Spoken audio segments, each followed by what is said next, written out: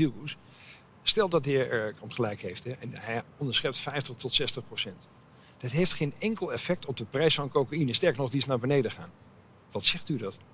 Het is een enorme, enorme markt. Dat, uh, dat horen we al.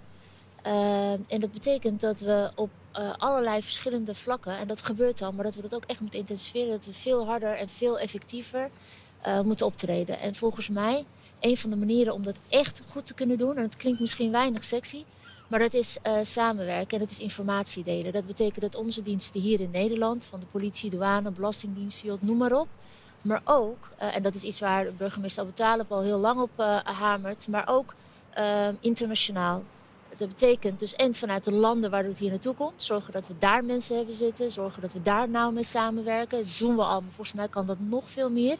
En ook zorgen dat het spul dat het ons land weer verlaat, dat we ook daar weer verbanden leggen. En ook zorgen dat dat nog sterker wordt. Want alleen zo kan je zorgen, en ik denk dat dat misschien wel het hoogst haalbaar is, om te zorgen dat ons land minder aantrekkelijk wordt. Om te zorgen dat het hier niet meer loont om hier naartoe te komen. Of in ieder geval dat je een andere route kiest. En over dat, dat, over dat harde aanpakken gaan we straks even hebben. Maar eerst over die samenwerking ja. met Colombia.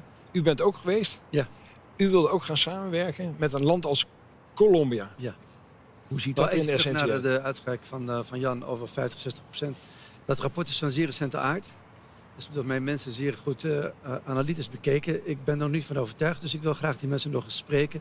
Dat doe ik graag overigens in aanwezigheid ook van de collega's van politie en douane. Het was een recent, recent rapport. De laatste aannames waren 15 tot 20 procent wat we onderschipten.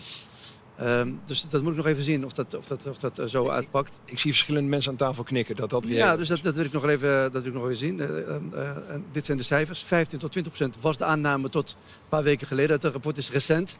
En dat verbaast mij, dus daar heb ik met verwondering naar gekeken. Dat moet ik nog even met onderzoekers goed bespreken. Maar je moet wel ergens uh, met mensen durven samen te, te, werken.